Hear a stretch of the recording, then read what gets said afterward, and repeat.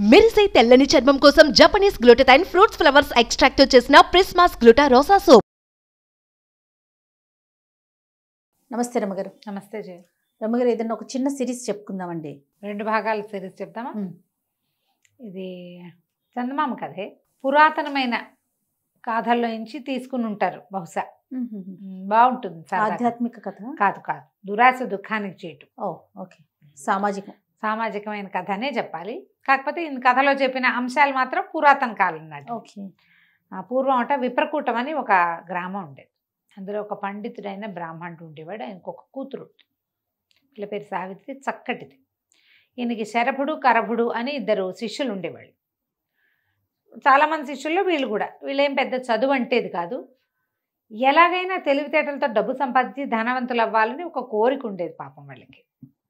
అయితే ఏమైందట? ఒకనాడు ఒక బ్రాహ్మణ ఆయన ఒక కొంచెం వృద్ధుడు ఒక ఆయన వీళ్ళ ఈ వాకిట్లోకి వచ్చాడు వాకిట్లో పిల్లని చూసి ఆగాడు సావిత్రిని. ఆగేసరికి పిల్ల లోపలికి వెళ్ళి వాళ్ళ నాన్నగారికి చెప్పింది నాన్న ఎవరో వచ్చారు వాకిట్లో నుంచున్నారంటే? ఆయన బయటకు వచ్చి ఈయన వృద్ధుడుగా ఉన్న ఆయన్ని చూసి అయ్యా రండి ఏ ఊరు? మా ఈ పూటకు మా ఇంట్లో విశ్రాంతి తీసుకోండి. ఆ రోజులు ఆ కాలం ఎలాంటిది? వంద నూట యాభై ఏళ్ళ క్రితము. ఇట్లా దారిపోయే వాళ్ళని కూడా పిలిచేవాడు అతిథి అభ్యాగతి అనేవాళ్ళు. ఓకే. అతిథి అభ్యాగతలకి భోజనం పెట్టడం ఈ పూట మా ఇంట్లో భోజనం చేయండి. ఎక్కడి నుంచి బయలుదేరారు? ఏమిటి అని అని కనుక్కున్నాడు. కనుక్కుంటే ఆయన పేరు కామగ్రీవుడు. ఆ వచ్చిన ఆయన పేరు. అయితే ఆయన నేను కాశీ నుంచి వస్తున్నాను. స్వగ్రామం వైపు వెళ్తున్నాను అని చెప్పి సరే ఆ పూట వాళ్ళ ఇంట్లో స్నానం చేసి భోజనానికి కూర్చొని చక్కగా శుభ్రంగా భోజనం చేశాక ఆ చిన్నపిల్ల పదేళ్ళు ఉన్నాయి ఆ సావిత్రికి. కూర నార అందించింది వంటకి. వంట చేసేటప్పుడు వాళ్ళ అమ్మ భోజనం చేసేటప్పుడు నెయ్యి పెరుగు పట్టుకొచ్చింది. పిల్ల అటు ఇటు తిరుగుతుంటే చూస్తున్నాడు ఆయన. సరే ఏమైంది? భోజనం అయ్యి విశ్రాంతిగా తమలపాకులు వేసుకోవడానికి వాకిట్లో కూర్చున్నప్పుడు మీతో ఒక విషయం రహస్యంగా మాట్లాడాలి. ఒక పక్కకి రండి అన్నాడు. ఆ ఇంట ఆయన ఆ పిల్ల సావిత్రి వాళ్ళ తండ్రి ఆ పండితుడు వచ్చి శిష్యులను పంపించేసి ఈ కామగరేవుడి దగ్గర కూర్చున్నారు. కూర్చుంటే కానీ వీళ్ళిద్దరూ ఒక శరభుడు కరభుడు ఏమిటి? ఎవ్వరూ ఎప్పుడు రహస్యాలు మాట్లాడరే మన గురువుగారితోటి. ఈనాడు జరగదు. ఏమిటో ఆ రహస్యం విందామని గుమ్మం పక్కనే పొంచి కూర్చున్నారు. మిగిలిన శిష్యులంతా పోయారు. వీళ్ళిద్దరు మాత్రం నుంచున్నారు. ఈ కామగ్రీవుడు చెప్పాడు అయ్యా మీ అమ్మాయిని నాకు ఇచ్చి పెళ్ళి చేయండి. నేను వృద్ధుండని ఏమి శంకించకండి. నేను అవివాహితుడినే నేను వృద్ధుండని బాధపడద్దు ఆలోచించద్దు. నేను చాలా కాలం కాశీలో పరిశ్రమ చేసి రెండు అత్యద్భుతమైన విద్యలు తెచ్చుకున్నా. ఒకటి పరకాయ ప్రవేశము రెండోది ఇంద్రజాలము. నాకు అక్కడ కాశీలో గంగా స్నానం చేస్తున్నప్పుడు గంగలో పడిపోయాను. మెట్టు తగిలి పన్ను విరిగిపోయింది. విరగటం వల్ల నేను మంత్రం. అది నాకు పారదు. ఆ మంత్రాన్ని నేను ఎవరికైనా ఇవ్వగలను. ఎవరికో ఇవ్వటం నాకు ఇష్టం లేదు.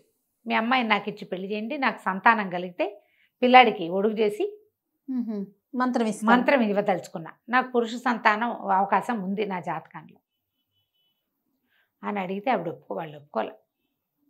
ఆయన ఏమన్నాడంటే పండితుడు అయ్యా క్షమించండి లేక లేక పుట్టిన పిల్ల. మరి కొంచెం చేలోకుగా ఉన్న కుటుంబాన్ని చూసుకుని పిల్లవాడిని మా దగ్గరే పెట్టుకోవాలనుకుంటున్నా పదేళ్ళ పిల్లలకి పద్నాలుగేళ్ళ పిల్లవాడిని పెట్టుకుని చదివించుకుని పైకి తీసుకొస్తా. మీరా యాభై ఏళ్ళ వాళ్ళు. ఈ యాభై ఏళ్ళ వాడికి నాకంటే వయసులో నా కాస్త పెద్దవాడికి నా కుమార్తెనిచ్చే ఉద్దేశం లేదు. డబ్బు వచ్చినా విద్య వచ్చినా కూడా నా పిల్ల సుఖమే నాకు కావాలి. నాకు ఇంకా మగపిల్ల లేరు ఒక పిల్ల. దాన్ని వివాహం చేసి చక్కగా అల్లుడిని దగ్గర పెట్టుకుని కొడుకులు లేని లోటు తీర్చుకోవాలనుకుంటా మీతో నాకు అది ఎట్టా తీరుతుంది. నేను ఇవ్వనండి అన్నాడు.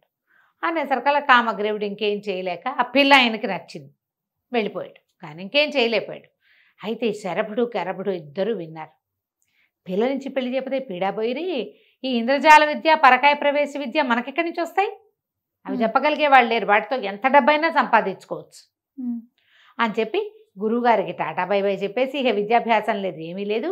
ఈ ముసలాయన వెనకాల తిరిగి అవి కనుక సంపాదిస్తే మా చక్కగా. సంపాదించుకోవచ్చు.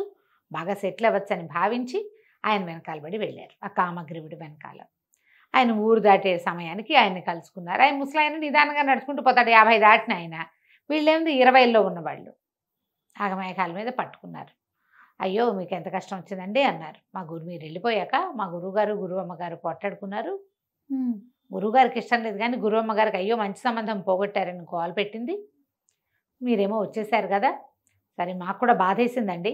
మీలాంటి అత్యద్భుతమైన వ్యక్తికి పిల్లనివ్వకపోవటం ఏంటి మా గురువుగారు? అదే. మాకు కాస్తలో తప్పిపోయిన బావ మీ బావగారు మీరు మేము మీతో పాటే ఉంటాం. మీకు ఏదైనా పిల్లని చూసి పెళ్ళి చేస్తామండి. మమ్మల్ని మీతో ఉంచుకోండి అన్నాడు అనేసరికి సరేనన్నాడు. రకరకాల ఊళ్ళల్లో తిరిగారు. ఏ ఊళ్ళో అయినా ఆయన ఎవరి పిల్లలనైనా చూసి పిల్లని చేసుకుందాం అనుకున్నప్పుడు వీళ్ళు సరే సరే అని ఆయన ఎంకరేజ్ చేస్తూనే అటు ఆ వాళ్ళ దగ్గరికి వెళ్ళి ఈయన నెలలో బతకడండి వద్దండి అలా విద్యలు కాసిపడి పిల్లల్ని పాడు చేసుకోకండి అని పెళ్ళి చెడగొట్టేసేవారు. ఒక ఏడు ఆరేడు సంవత్సరాలు పట్టింది ఇట్లా. ఆయన దగ్గర డబ్బు ఉంది వీళ్ళకి భోజనానికి ఇబ్బంది లేదు. ఏ ఊరు వెళ్ళినా భోజనం గడిచిపోతుంది వీళ్ళకి ఆ విద్య కావాలి ఇంకొక ఆరేడేళ్ళు పట్టినా పర్వాలేదు. చివరికి ఏమైంది? ఆయనకి పెద్ద జబ్బు చేసింది ఒకసారి. ఒరే నాయన నేను చచ్చిపోతానురా. మరి నా విద్యలు ఇట్టకి పోయేలాగా ఉన్నాయి అని ఏడ్చాడు. ఏడిస్తే వీళ్ళన్నారు ఎందుకండి పోతాయి. వాడుకోటి నాకోటి ఇవ్వండి ఏడేళ్ళుగా మిమ్మల్ని అంటి పెట్టుకుని ఉన్నాం మేము. నీకు అడిగారు. వివాహం చేయడానికి ఎంత ప్రయత్నం చేశాం? అదేం కుదరలేదు. మరి మీరు ఆ పని చేయండి అంటే సరేనని ఏం చేశాడు? చేరుకో విద్య ఇచ్చాడు. ఆ ఉపదేశం. అది ఎట్లా? ఒకసారి ఉపదేశం చేశామంటే ఇక మనకు ఉండదు ఓ. విద్య ఇవ్వటమే ఇచ్చేయటం. మామూలు విద్యలు స్పెషల్ కదా. అదేలేండి. స్పెషల్ అవ్వటం వల్ల మళ్ళీ ఆ విద్య వాళ్ళకే వాళ్ళకు కూడా ఉండాలి అంటే చాలా సాధన కావాలి దానికి. ఆ ఈ కామగ్రీవుడు తెచ్చుకున్న చోట ఎక్కడి నుంచి తెచ్చాడో? ఆ గురువు ఏదో మహామాంత్రికుడు. ఇతనికి ఇచ్చిన వాళ్ళకి పోలా ఈయనకి అంత లేదు. ఈయన ఏడేళ్ళుగా ఏమైంది? ఉపాసన ఏం లేదు. విద్యలు ఉన్నాయని తిరుగుతున్నాడు. ఆ విద్య తనకు కూడా ఉంచుకునే ప్రయత్నం ఆయన చేయలే. అది ఎట్లాగో శిష్యులకి చెప్పలేకపోయాడు. చేరుకో విద్య తీసుకున్నారు. అక్కడి నుంచి ఇద్దరు కలిసి బయలుదేరారు. బయలుదేరి ఏదో ఒక రాజును ఆశ్రయించి ఇది చేయాలనుకున్నారు. ఒక ఊరు ఒక ఊరు వెళ్ళేసరికి అలా ఏమైంది? రాజుగారికి జబ్బు చేసిందని చెప్పారు. చెప్పంగానే ఇందులో ఏంటి? కరపుడు శరపుడు కదా? శరపుడికేమో ఇది విద్య వచ్చింది పరకాయ ప్రవేశం. కరపుడికేమో ఇంద్రజాలం వచ్చింది. శరభ కరభ. ఈ శరభుడు ఈయన కరపుడు కనిపించింది. అయ్యి బాబోయ్! ఇప్పుడు ఆ రాజుగారు కనుక చచ్చిపోయాడంటే వీడు వెళ్ళి బడబ శరీరంలో దూరిపోతాడు? రాజు అయిపోతాడేమో ఓ. వాళ్ళల్లో వాళ్ళకే. అలా అనిపిస్తుంది. రాజు అయిపోవచ్చు అవకాశం ఉంది. రాజు అయిపోయేందుకు అవకాశం ఉంది. కానీ ఏమైంది? ఇంతలో జబ్బు తగ్గిపోయింది అన్నారు రాజుకి.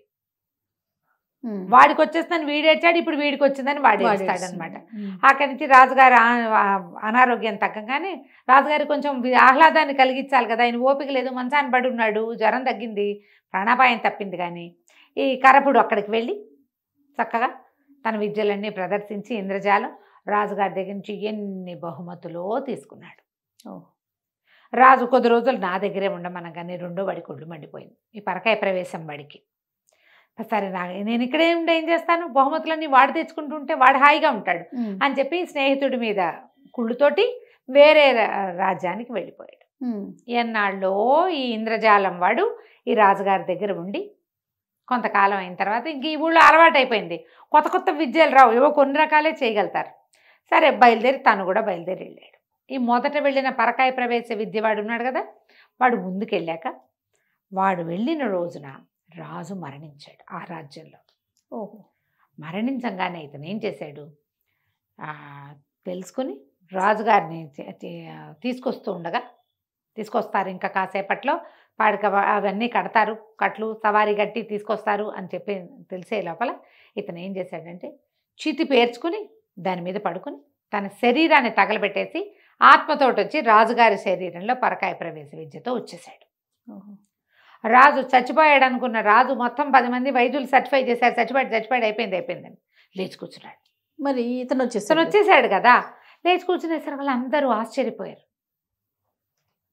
అది ఎప్పుడు జరిగింది? రాజుగారి మరణం ముందు రోజు సాయంకాలం జరిగింది. మర్నాడు ఉదయానికి ఈయన్ని కదిపే సమయానికి వాళ్ళ ఆచార ప్రకారం రాణిగారి సువాసన చిహ్నాలన్నీ తీయించేశారు. ఆవిడ బోసిగా ఉండిపోయింది. మొదట ఈయన రాణి దగ్గరికి వెళ్ళాల. ఇతను ఏదో ప్రవర్తన విపరీతంగా ఉంది. రాజుకి ఏదో వెకిలి ప్రవర్తన వచ్చింది అనుకున్నాడు. చచ్చి బతికితే హుందాతనం రావాల్సింది. పోయి వీడికేంటి వెకిలితనం వచ్చింది? ఈ రాజుగారికి అనిపించింది. వెకిలిగా అయ్యాడు. ఏదో ధోరణి. ఎందుకంటే ఈ విద్యలు నేర్చుకున్నవాడు ఎవడు ఒక బ్రాహ్మణ యువకుడు. అది కూడా పరమ నిరుపేదవాడు.